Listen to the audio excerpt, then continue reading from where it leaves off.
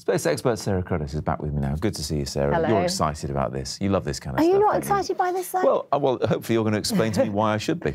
Well, this is the equivalent of, or the whole mission of landing a fly on a speeding bullet in terms of the technological and engineering achievement. I think actually sometimes we take for granted and assume we've done so much more in terms of space exploration, but we've only been going into space for 50 years. We haven't sent humans beyond Earth orbit since the early 1970s. And We've never landed on a comet before, so this mission had a 12 year, over 6 billion mile journey across our solar system to rendezvous with a comet called Churyumov-Gerasimenko 67P. You can't Wow, say that. I know it's can't. quite a mouthful. Um, and then land on it, send the Philae lander. And then this last final bit of the mission, which was actually conceived and developed in the in mid 1980s, was to actually send the spacecraft, which wasn't designed to land on Rosetta, down to the comet and to try and get that final bit of science back from the mission. So that, that's a bit of a bonus. I tell you what I can say is Andrea Accomazzo, which is uh, the spacecraft operations manager from the European Space Agency, says Rosetta has been comparable to the moon landing. Really that big?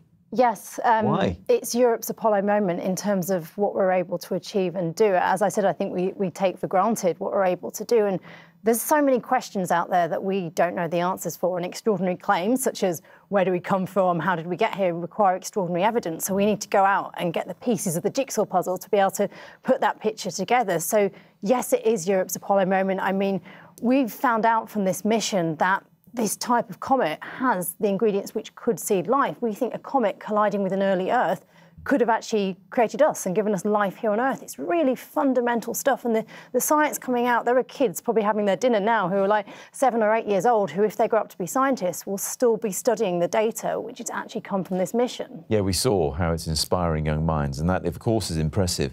So, what is the European Space Agency going to do next to keep inspiring us? Well, they're landing on Mars next month, so nothing Oh, big. sounds nothing simple. big. I think one of the interesting things to come from this is um, Europeans are more reserved. So NASA's always shouted about their achievements. They've got a great PR team. ESA's more reserved in terms of um, what they're actually doing. They don't shout about it. This was the first time they really told their story. They had these brilliant cartoons, which if you go on the ESA YouTube channel, you can actually watch them. And they turned Philae, the Philae Lander and Rosetta into two little characters and really helped to tell their story. So actually, a, it, it shows how valuable communicating science and why we need to do these things is. These things as much as actually doing the science itself. That's interesting. So, they're getting they're getting the PR right. Are, are they competing a bit with NASA then? No, absolutely not. I just think it is different styles. I mean, space exploration is beyond borders. It's about collaboration, but what we actually are seeing a rise in is commercial space and people investing money because throughout history, governments going first and then private industry afterwards. So there's a lot of money to potentially be made in space. So it's a very exciting time to be alive and a very exciting future ahead of us. I'm excited now. There Thanks, we go. Sarah. Thank you.